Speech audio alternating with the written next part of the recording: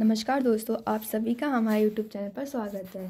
तो दोस्त, दोस्तों आज इस वीडियो में हम लोग बात करेंगे हरियाणा कमीशन के रिज़ल्ट को लेकर एक न्यू अपडेट के बारे में। तो दोस्तों वीडियो स्टार्ट करने से पहले अगर आप हमारे चैनल पर नए हैं या फिर आपने अभी तक हमारा चैनल सब्सक्राइब नहीं किया है तो इसे जल्दी सब्सक्राइब करें। तो दोस्तों हम वापस अपनी वीडियो की तरफ़ आते हैं। तो आज इस वीडियो में हम लोग बात करने वाले हैं SSC constable ALM staff nurse के रिज़ल्ट जो अभी तक डिक्लेयर नहीं हुए हैं तो उनके बारे में हरियाणा कमीशन ने क्या अपडेट दिया है? तो दोस्तों, पहले तो हरियाणा पुलिस कमांडो की जो पोस्ट है, उसके लिए जो चयनित उम्मीदवार हैं, उनकी ज्वाइनिंग स्टार्ट हो गई है। मगर इसमें उम्मीद लगाई जा रही है कि डेढ़ दर्जन इसमें फंस सकते हैं, क्योंकि हरियाणा कमीशन चयन आयोग बायोमेट्रिक सीसीटीवी फुटेज के साथ किया जाएगा मिलान। तो इसमें दोस्तों, उम्मीदवारों के फंसने की उम्मीद जताई जा रही है। अब बात करते हैं।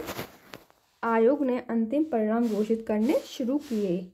वेलफेयर ऑर्गेनाइजर का परिणाम घोषित। तो दोस्तों, कम एसएससी कमीशन ने एक फरवरी से परिणाम घोषित करना शुरू कर दिया है। जिसमें उन्होंने वेलफेयर ऑर्गेनाइजर पदों के लिए अंतिम परिणाम घोषित किए।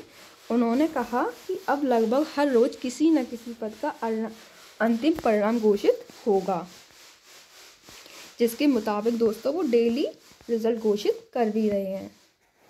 अब बात करते हैं जो आपके स्वास्थ्य विभाग है, उसका रिज़ल्ट कब जारी होगा? तो एसएससी कमीशन ने स्वास्थ्य विभाग के पदों के लिए भर्ती प्रक्रिया लगभग पूरी कर रखी है, मगर अंतिम परिणाम घोषित ना होने से उम्मीदवारों में नाराज़गी है। उम्मीदवारों ने दैनिक सवेरा को बताया कि लगभग छः महीने परीक्षा हुए हो गए हैं, मगर आज तक अंतिम परिणाम घोषित नहीं हुआ है।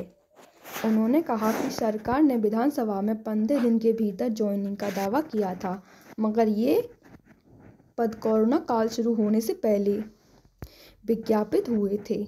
मगर कोरोना की पहली दूसरी लहर निकल गई, तीसरी लहर चल रही है, मगर ये पद अभी तक भरे नहीं गए हैं। उन्होंने कहा कि आयोग के अध्यक्ष भोपाल सिंह खदरी बार बार मीडिया में बयान देते हैं कि परिणाम जल्द जारी होगा। 22 फरवरी और 22 के बाद जारी होगा, मगर अब फरवरी शुरू हो गया और परिणाम अभी तक जारी नहीं किए गए हैं। उधर दैनिक सवेरा ने एक फरवरी आयोग के चेयरमैन भोपाल सिंह खादी से पूछा कि स्वास्थ्य विभाग के पदों समेत अन्य पदों के अंतिम परिणाम कब तक जारी होंगे। तो दोस्तों, देखते हैं उन्होंने क्या कहा। अध्यक्ष ने कहा है कि परिणाम घोषित होने एक फरवरी से शुरू हो गए हैं। स्वास्थ्य विभाग के पदों का परिणाम भी जल्द जारी होगा। उन्होंने कहा कि अब लगभग हर रोज़ किसी न किसी पद का परिणाम जारी किया जाएगा। तो दोस्तों, आपका वेट अब ख़त्म होने वाला है। किसी भी दिन आपका रिज़ल्ट जारी हो सकता है। तो देखते हैं इस बार खादरी साहब अपनी बात पर कितने अटल रहते हैं। तो इस वीडियो में इतना ही और ऐसी अपडेट्स के लिए हमारे चैनल को सब्सक्राइब करें। और वीडियो पसंद आए हो तो लाइक एंड शेयर ज़रूर करें।